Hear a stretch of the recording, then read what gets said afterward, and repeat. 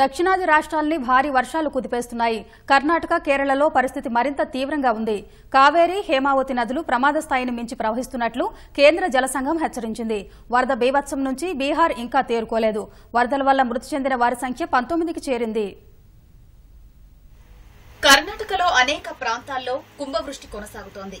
భారీ వర్షాల దాటికి నదులు వాగులు వంకలు ఉధృతంగా ప్రవహిస్తున్నాయి. నదుల్లో వరద నీరు పోటెత్తుతోంది. కావేరి హేమావతి నదులు ప్రమాదకర స్థాయిని మించి ప్రవహిస్తున్నట్లు కేంద్ర జలశక్తి కమిషన్ హెచ్చరించింది. నిరంతరాయంగా కురుస్తున్న వర్షాలకు కొడ్గవ్ జిల్లాలోని బాగమందాలలో వరదలు పోటెత్తాయి. చిక్మంగళూరులో భారీ వర్షాలకు కొండచర్యలు విరిగిపడ్డాయి. ఈ ఘటనలో ఎలాంటి ప్రాణ నష్టం సంభవించలేదు. ఉడిపి జిల్లాలోని అనేక ప్రాంతాల్లో కుంభవృష్టి కొనసాగుతోందని భారత వాతావరణ విభాగం హెచ్చరించింది.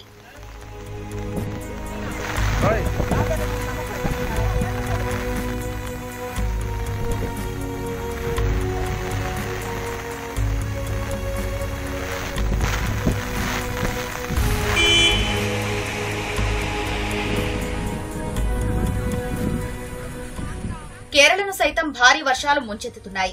ఇడుక్కి వయనాడ్ కోజికోడ్ కన్నూర్ జిల్లాల్లో కుంభవృష్టి కురిసింది. వయనాడ్లో అత్యధికంగా పదిహేను సెంటీమీటర్ల వర్షపాతం నమోదు కాగా మున్నార్లో పన్నెండు ఇడుక్కిలో పదకొండు సెంటీమీటర్ల వర్షం కురిసినట్లు వాతావరణ విభాగం తెలిపింది. మరో రెండు రోజులు కేరళలో భారీ నుంచి అతి భారీ వర్షాలు కురిసే అవకాశముందని ఐఎండీ హెచ్చరించింది. వయనాడ్ ఇడుక్కి జిల్లాల్లో రెడ్ అలర్ట్ ప్రకటించింది. వాతావరణ శాఖ సూచనలను సమీక్షించిన సీఎం పినరై విజయన్ లోతట్టు ప్రాంతాల ప్రజలను సురక్షిత ప్రాంతాలకు తరలించాలని అధికారులను ఆదేశించారు.